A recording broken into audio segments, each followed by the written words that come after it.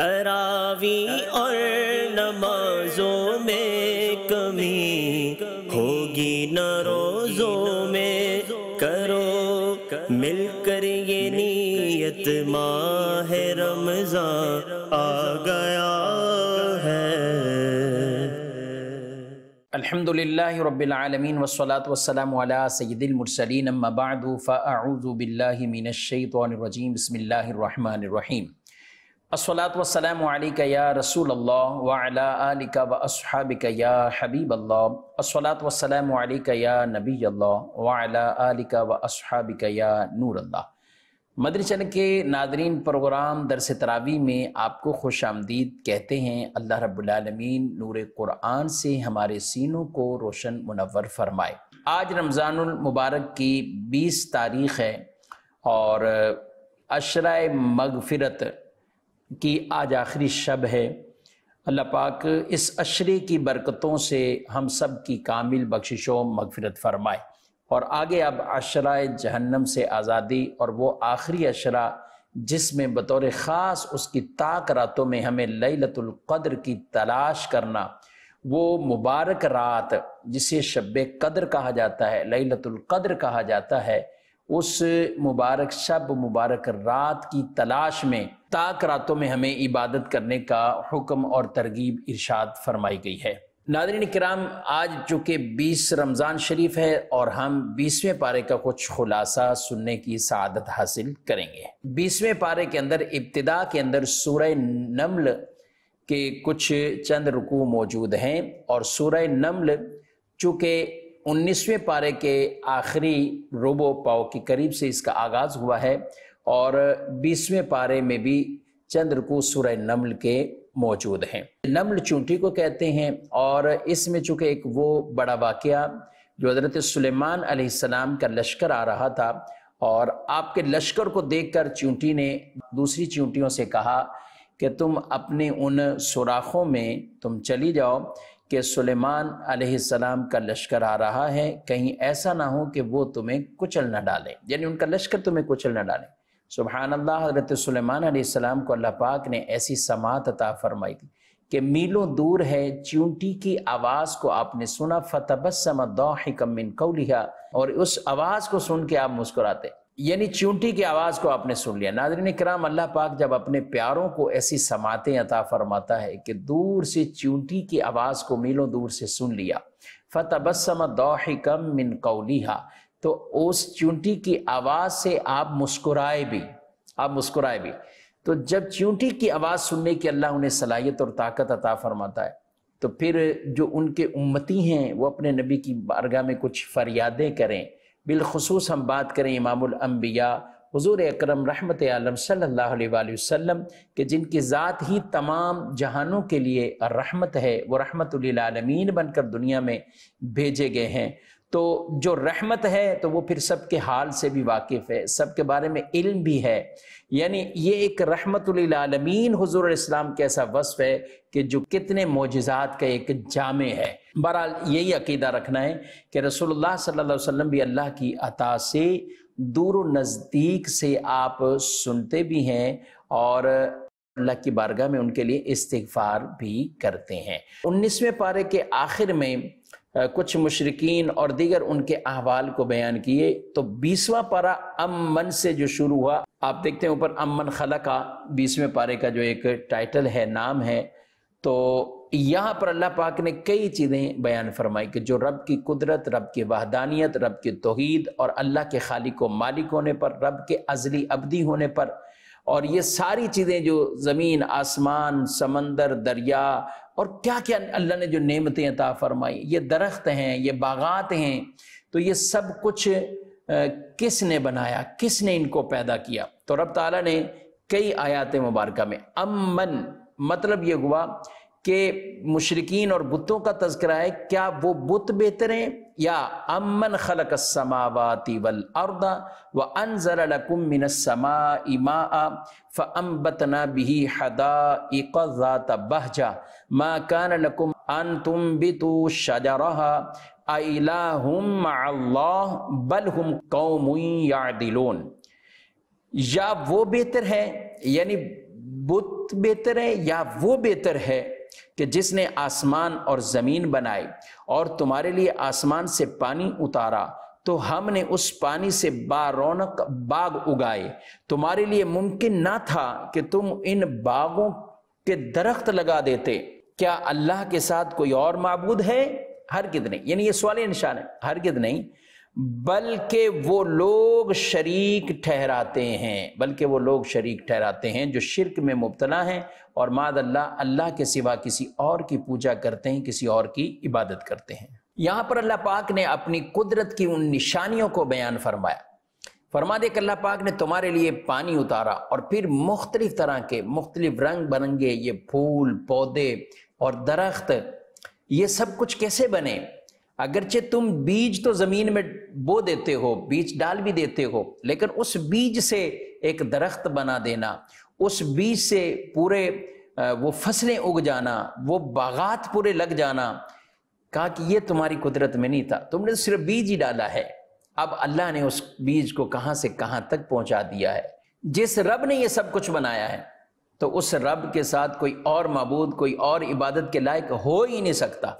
تو اسی رب کی عبادت کرو نا، جس نے یہ تمہارے لیے درخت، باغات اور یہ سب کچھ بنایا۔ آگے پھر فرمایا امن جعل الارض قرارا وجعل خلالها انہارا، وجعل لها رواسي، وجعل بين البحرين حاجزا۔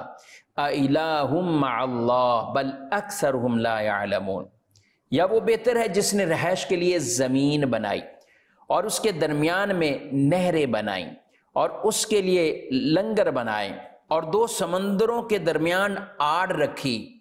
کیا اللہ کے سوا کوئی اور معبود ہے؟ یعنی یہاں بھی سوال، کیا اللہ کے سوا کوئی اور معبود ہے؟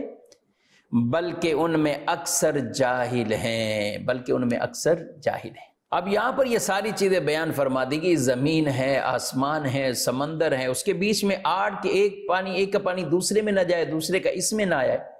یعنی یہ اتنی چیزیں کوئی دیکھتا ہے تو وہ یہ کہتا ہے، ان دلائل پر غور کر کے کہتا ہے۔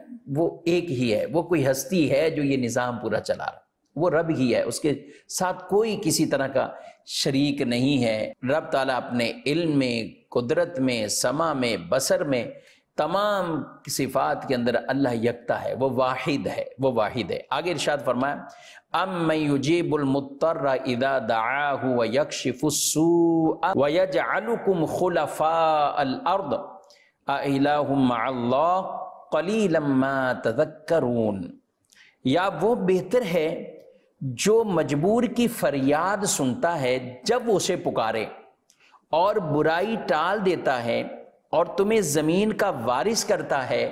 کیا اللہ کے سوا کوئی اور معبود ہے؟ بار بار یہی تکرار سے پوچھے، کیا اللہ کے سوا کوئی اور معبود نہیں تم بہت ہی کم نصیحت حاصل کرتے ہو۔ اب یہاں پہ بھی یہ ارشاد فرمایا جا رہا کہ کیا وہ بت یا وہ بہتر ہے کہ جو مجبور کی سنے، فریاد سنے اور اس کی پریشانی کو دور کر دے۔ وہ اللہ کی ذات ہی ہے جو اس بات پر قادر ہے کہ کسی فقر والے کو غنی بنا دے، مال دے دے، بیمار کو صحت دے دے۔ شدت اور سختیوں کو اور مشکلات کو آسانیوں میں تبدیل فرما دے۔ اور پھر زمین میں تمہیں وارث بنا دیا۔ یعنی پہلے کی جو زمین ہے، اب اس کے جو وارث بنے، پھر تم جب انتقال کرو، تمہاری زمینوں کو پھر آگے کوئی وارث بنے۔ تو یہ جو وارث بھی بنایا ہے، فرمایا کہ کیا کوئی اور ہے؟ سبحان اللہ۔ یاد رکھے ناظرین کرام، یہاں پہ مجبور کی دعا کو کہا گیا ہے۔ جب آدمی بالکل ہر طرف سے دروازے لگتا ہے نا، بند ہو گئے، کوئی نہیں ہے۔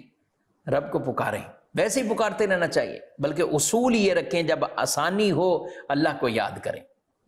جب آسانی ہوگی رب کو یاد کریں گے، جب کبھی مشکل میں آپ پھنسیں گے، رب تالا یاد فرمائے گا یعنی اس مشکل کو آسان فرما دے گا۔ صحت ہے، تندرستی ہے، اللہ کو یاد کریں۔ جب بیماری میں پھنسیں گے، رب تعالیٰ اس بیماری سے نکالے گا۔ شفا تا فرمائے گا۔ مجبور کی دعا کے حوالے سے رسول اللہ صلی اللہ علیہ وسلم کی ایک حدیث ہے۔ آپ صلی اللہ علیہ وسلم فرماتے ہیں کہ جو کبھی مجبوری میں یہ ایسا پھنس جاتا ہے تو پھر دعا کیا مانگے؟ کن کلمات سے مانگے؟ اللہم رحمتک ارجو فلا تکلنی الى نفسی طرفت عین واصلح لی شانی کلہ لا الہ الا انت تو جو مجبور پریشان آ لینا تو یہ دعا مانگے سبحان اللہ اے اللہ میں تیری رحمت کا امیدوار ہوں تو مجھے آنکھ جھپکنے کی دیر بھی میرے نفس کے حوالے نہ کرنا اور میرے سارے کام درست کر دے تیرے علاوہ اور کوئی معبود نہیں آگے پھر ارشاد فرمائے، ام یہدیکم فی ظلمات البر والبحر ومن یرسل الریاح بشرا بین یدی رحمته االہ مع اللہ، تعالی اللہ عما یشرکون۔ ترجمہ، یا وہ بہتر ہے جو تمہیں خشکی اور تری کے اندھیروں میں راہ دکھاتا ہے، اور وہ جو ہوائیں بھیجتا ہے، اور اس حال میں کہ وہ ہوائیں اللہ کی رحمت سے پہلے خوشخبری دے رہی ہوتی ہیں۔ کیا اللہ کے ساتھ کوئی اور معبود ہے؟ اللہ ان کے شرک سے بلند بالا ہے۔ اب یہاں پر خشکی تری یہ سب اللہ تعالیٰ تمہیں جو یہ عطا فرماتا ہے، راستے ان اندھیروں اور تاریخیوں میں وہ راستے جو عطا فرماتا ہے، وہ نور عطا فرماتا ہے۔ کئی جنگلات بیابان جگہوں پہ گئے، پھنس گئے، رات ہو گئی، سکون کر لیتے ہیں۔ جیسے جیسے رات جاتی ہے تو پھر صبح کی وہ ایسی روشنی ہے کہ ہر چیز یہاں ہو جاتی ہے۔ پھر آدمی اپنے سفر رواں دبا کرتا ہے۔ پھر فرمایا، وہ ہوائیں کیسی ہے جو ہوائیں چلاتا ہے؟ اس بارش کی جو نعمت ہے، اس سے پہلے ہواؤں کا چلنا، یہ ایک خوشخبری ہے۔ پہلے سے یہ علامت بیان فرما دی گئی۔ اور اگلی آیت میں فرمایا، ام یبدا الخلق ثم يعيده ومن يرزقكم من السماء والارض اله مع الله قل هاتوا برهانكم ان كنتم صادقين یا وہ بہتر ہے جو خلق کی ابتدا فرماتا ہے، پھر اسے دوبارہ بنائے گا۔ اور وہ جو تمہیں آسمانوں اور زمین سے روزی دیتا ہے، کیا اللہ کے ساتھ کوئی اور معبود ہے؟ تم فرماؤ، اپنی دلیل لاؤ اگر تم سچے ہو۔ رب تعالیٰ جو ہے نا، وہ جس نے پیدا کیا ہے، پھر بھی اٹھائے گا۔ دنیا میں آئے اور اس کے بعد پھر اٹھائے گا، اور پھر تمہیں زمین اور آسمان کا رزق دیتا ہے۔ یعنی آسمان سے بارش اترتی ہے، زمین سے فصلیں اگاتی ہیں۔ تو یہ اللہ کی قدرت کی جو نشانیاں ہیں، علامات ہیں، تو یہ ابتدائی کئی آیات مبارکہ ہیں جس میں اللہ رب العالمین نے اسے بیان فرمایا ہے۔ تو ناظرین کرام، اللہ کی قدرت کی نشانیوں میں غور کرتا جائے آدمی، غور کرتا جائے۔ اچھا ہمارے اپنے وجود کے اندر بھی ایسی نشانیاں غور کریں تو آدمی یہ کہے گا یعنی یہ ہر شخص یہ کہے گا ہاں کوئی ذات ہے، کوئی ہستی ہے۔ اور وہ اپنے افعال میں، اپنے حکم میں، سب میں وہ واحد ہے، وہ یکتا ہے۔ وہ کون ہے؟ وہ اللہ رب العالمین ہے۔ اس کے ساتھ کوئی شریک نہیں، اس کے ساتھ کوئی شریک نہیں۔ تو یہ ساری نشانیوں کو بیان فرمایا ہے۔ بڑھتے ہیں مزید اسی پارے کے کچھ اور آیات کے مضامین کی طرف۔ ناظرین کرام، اس پارے میں دو مزید صورتیں ہیں۔ ایک ہے سورہ قصص اور ایک ہے سورہ عنکبوت۔ قصص کے اندر اس میں بڑے ایک عجیب جو واقعات ہیں، وہ یہاں بیان ہوئے قصص کہتے ہیں واقعات اور یہ عجیب و غریب قسم کے جو واقعات ہیں، ان میں بالخصوص حضرت موسیٰ علیہ السلام آپ کی ولادت اور ولادت کے بعد کس طرح، کیونکہ فرعون اس وقت تھا اور فرعون کو اس کے تعبیر کرنے والوں نے ایسی خواب کی تعبیر بتا دی تھی کہ اب کوئی ایسا بچہ پیدا ہوگا جو تیری ساری یہ سلطنت ختم کر دے گا۔ فرعون نے آرڈر کیا کہ تم ایسا کرو، کوئی بیٹا بچہ زندہ رکھو ہی نہیں، جس کے ہاں بچہ پیدا اس کو مار دو، ذبح کر دو معذ اللہ ہاں بیٹیاں زندہ رکھتا تھا، بیٹیاں زندہ رکھتا تھا۔ لیکن اللہ پاک جب ارادہ فرما لے اور اب تعالیٰ جب چاہے اور حفاظت فرمائے تو پھر اور کون نقصان پہنچا سکتا ہے؟ تو حضرت موسیٰ علیہ السلام کا وہ واقعہ یہاں بیان ہوا ہے۔ اللہ پاک فرماتا ہے نتلو علیک من نبع موسیٰ و فرعون بالحق لقوم یؤمنون ہم تم پر پڑے موسیٰ اور فرعون کی سچی خبر ان لوگوں کے لیے جو ایمان رکھتے ہیں۔ اب معاملہ ایسا ہی ہوا کہ وہ نگہداشت رکھتے، ان کی پولیس لوگ جو بھی افراد تھے اور عورتیں بھی تھیں، دائیاں تھیں جو بتاتی تھیں یہاں بچہ پیدا ہوا، یہاں ہوا، تو وہ ان کی نگہداشت لے کے بچوں کو ذبح کر رہے تھے۔ اب جب حضرت موسیٰ علیہ السلام کی ولادت ہوئی تو آپ کی والدہ بڑی پریشان ہوئی کہ کیا ہوا؟ اللہ پاک نے ان کی طرف ہی ایک الہام کیا۔ الہام یعنی رب کی طرف سے ایک دل میں کوئی بات ڈالا جانا۔ یاد رکھیں وہی کا تعلق یہ نبی سے ہوتا ہے وہی نبی پر ہوتی ہے۔ اور جو غیر نبی ان کے لیے الہام ہوتا ہے یعنی اللہ کی طرف سے کوئی ایسا الہام ہو جاتا ہے۔ فرمایا اوحینا الا ام موسا ان اردعیہ فَإِذَا خِفْتِ عَلَيْهِ فَأَلْقِهِ فِي الْيَمِّ وَلَا تَخَافِي وَلَا تَحْزَنِي۔ إِنَّا رَادُّوهُ اور ہم نے موسیٰ کی ماں کو الہام فرمایا، اسے دودھ پلا، پھر جب تجھے اس سے اندیشہ ہو تو اسے دریا میں ڈال دے۔ اور نہ ڈر نہ غم کر، بے شک ہم اسے تیری طرف پھیر لائیں گے اور اسے رسول بنائیں گے۔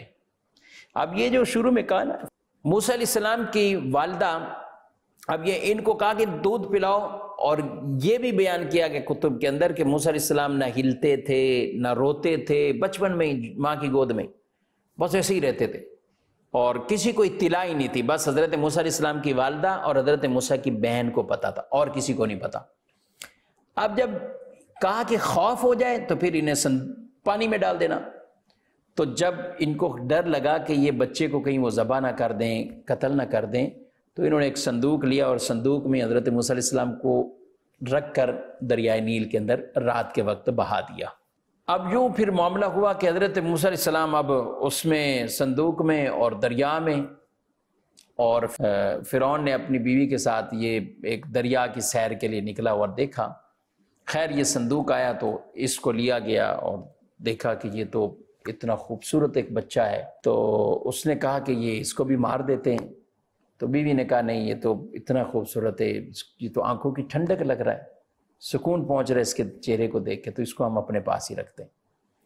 اب یوں یہ فرعون نے اپنے پاس رکھا۔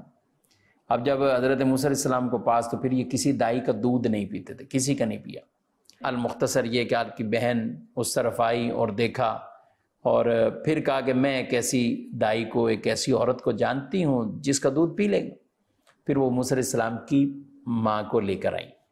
تو ان کو گود میں لیا اور ان کو دودھ پلایا، انہوں نے دودھ پی لیا اور اللہ نے فرمایا کہ دیکھیں کیسے پانی کی موجوں سے گزار کر ماں کی گود میں پہنچا دیا۔ یہ اللہ کی نعمت تھی۔ سبحان اللہ۔ اللہ چاہے، اللہ قادر مطلق ہے۔ رب چاہتا ہے تو پھر یوں انتظام بھی پیدا فرما دیتا ہے۔ تو موسیٰ علیہ السلام فرونی شہید کر رہے تھے، مار رہے تھے، اس سے بھی بچ گئے اور ماں کی گود کا سکون بھی مل گیا۔ تو یوں ماں روزانہ آتی، دیکھتی اور پرورش کرتی، دودھ پلاتی، تو یہ سب کچھ ماں ہی کر رہی تھی۔ ان کی ماں ہی کر رہی تھی اور ماں کی گود میں ہی اللہ پاک نے جو اعلام کیا تھا کہ تمہاری طرف لوٹا دیں گے، تو اللہ نے اسے لوٹا دیا۔ اللہ نے واپسی لوٹا دیا، گود میں لوٹا دیا، سبحان اللہ۔ مزید آگے بڑھتے ہیں، ناظرین کرام، تو اسی سورہ قصص کے اندر حضرت موسیٰ علیہ السلام کا جو حضرت شعیب علیہ السلام کی بیٹی کے ساتھ نکاح ہوا، وہ واقعہ بھی موجود ہے۔ کیونکہ موسیٰ علیہ السلام پھر جب مدین گئے تھے، ایک واقعہ اور اس سے پہلے ہوا اور مدین گئے اور وہاں سے حضرت شعیب علیہ السلام کی بیٹی سے آپ کا نکاح ہوا۔ اچھا اسی پارے کے اندر قارون کا وہ بھی تذکرہ موجود ہے۔ قارون ایک مالدار شخص تھا اور بہت مالدار تھا۔ پہلے کمزور تھا، پھر اللہ پاک نے بہت مال دیا۔ بہترین توریت کا کاری تھا۔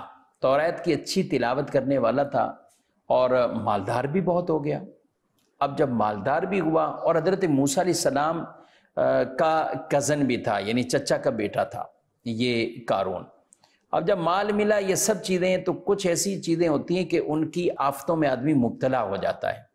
اب جب مال ملا، یہ سب چیزیں آئیں تو یہ مختلف تکبر میں پڑ گیا، فخر میں پڑ گیا اور زکوٰۃ کی بھی ادائیگی نہ کر کے پھر ایسے اللہ کے اس پر عذاب آئے کہ مال سمیت ہی اس کو دھنسا دیا گیا زمین کے اندر۔ یہ واقعہ بیان کرنے کے بیسک پیچھے مشرقین کو جواب دینا تھا کہ جو کہتے تھے کہ ہمارے پاس مال ہے، اولادیں ہیں، ہماری شہرت ہے، اتنا مال ہے۔